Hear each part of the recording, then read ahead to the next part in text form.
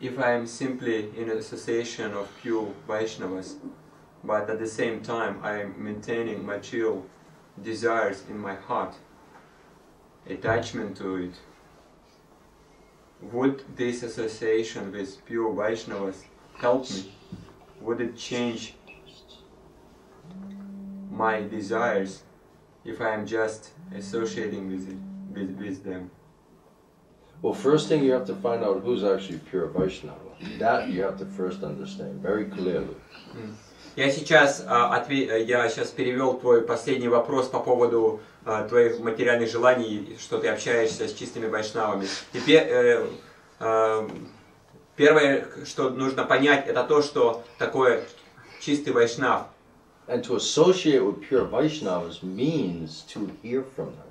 И общаться с чистым вайшнавом означает слушать его. Without hearing with sincere faith, there's no question of associating with Vaishnavas. Не слушая э, вайшнава э, с верой, это означает не иметь общения с вайшнавом.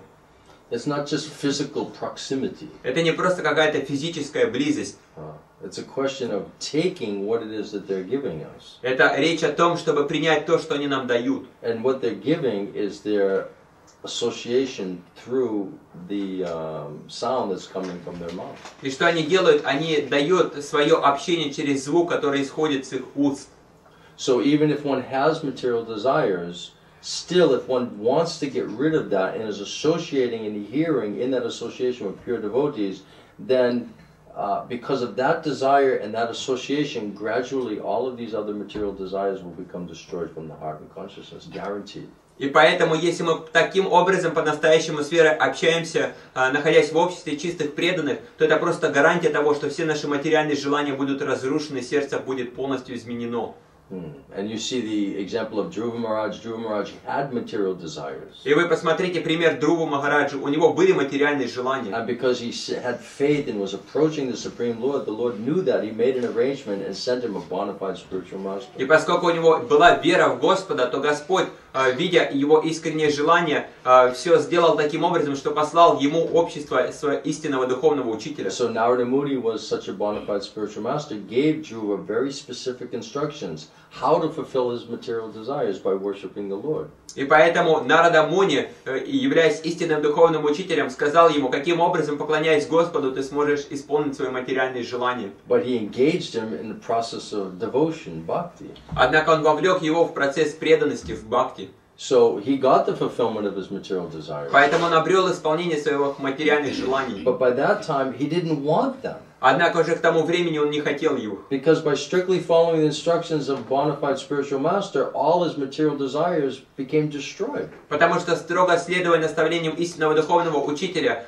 его материальные желания были разрушены. And he just wanted bhakti, pure devotion. И он просто хотел бхакти, чистой преданности. And that is the effect of associating and hearing and following the instructions of pure devotee. И вот это эффект слушания и общения, э, находясь в обществе с чистыми преданными. Even if one has material desires. Даже если у человека есть материальные желания. So what to speak of going to a pure devotee with the purpose of uprooting all of your material desires? Представьте теперь себе, что вы идете в общество чистого преданного для того, чтобы ваши материальные желания были искоренены. And then praying to Krishna and praying to bona fide spiritual master, please help me to purify my heart and get free of all of these material И вы desires. молитесь Кришне, молитесь э, э, гуру, истинному гуру, чтобы они очистили нас от этих материальных желаний, забрав их из нашего сердца. that strong desire in the right association by the mercy of Guru and Krishna, definitely you become pure devotee. Поэтому с таким правильным общением, с правильным желанием, такое общение, безусловно, вырвет все материальные желания с корнем.